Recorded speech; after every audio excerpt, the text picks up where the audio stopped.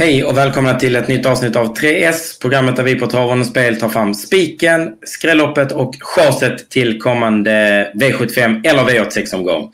Den här gången är det V75 som gäller, det är Östersund och vi har som vanligt spännande tävlingar som väntar. I vanlig ordning är det spiken som inleder och den bästa spiken hittar vi i avdelning 3 och det är häst nummer 5, Soidi AMG som eh, vi tror de flesta travintresserade i Sverige har koll på. Det här nioåriga stoet har ju charmat oss här nu i två säsonger i Sverige med några ruskigt bra insatser. Eh, när hon tävlar på topp är hon en av Europas bättre ston. Senast kom hon visserligen bara från en tredje plats, men det var långt ifrån en dålig prestation. Hon hamnar ju bland de sista i stoeliten under Elitloppshelgen och trots att hon travade 1.06,8 sista 800 var hon inte nära att lyckas ta sig förbi Felicia Sett. Men som ni ser på bilderna är det bra tryck hela upploppet ner. Formen sitter där. Nu kliver hon ner i klass, möter eh, silverdivisionshästar och från ett passande utgångsläge tror vi att hon brakar tidigt till ledning och sen stannar där hela vägen in. Skrälloppet, då går vi till V75 4. Det är ett kallblodslopp utspritt över två volter. Det är kort distans, notera det. Inte det vanligaste. Um, favoriten i loppet, 12 Ulfsåsen, tycker vi ska räknas med hög segerchans. Men det är allt annat än lätta förutsättningar här med bakspår på tillägg och kort distans då som sagt.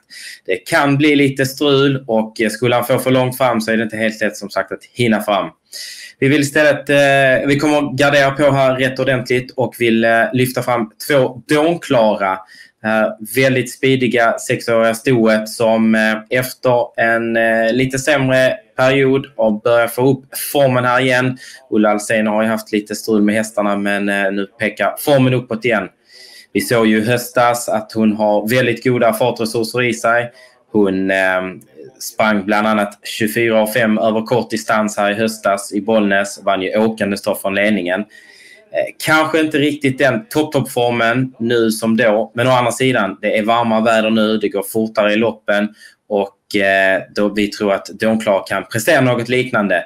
Skulle hon då få sitta kvar en bit och spara sin speed, ja, då kan det gå vägen. 4 när vi spelar in detta, det tar vi alla dagar i veckan.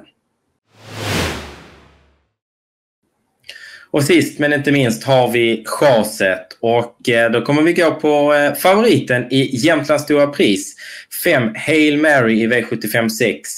Eh, tidig favorit, eller favorit bland de tidiga spelarna tycker vi inte han ska vara.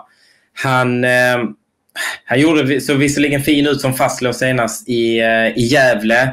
Eh, man hade ju planer på att försöka kvala in till Elitloppet men eh, fick som sagt inte chansen.